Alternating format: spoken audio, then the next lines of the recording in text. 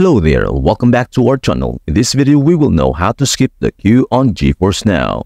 Skip wait time. First, open two new tabs. In the first tab, search for status.geforcenow.com and press enter. Click on the first link that appears. In the second tab, search for gfn.dozor.2.me and hit enter again.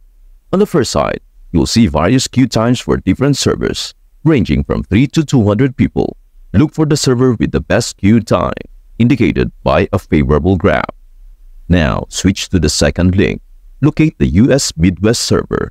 Once you find it, check for the NPG indicator, which shows that the server is operational. Next, go to the settings menu and ensure that the server location is set to US Midwest, since the server is currently working. Finally, when you hit play, you will encounter a very short queue, making it easy to join the game. That's it.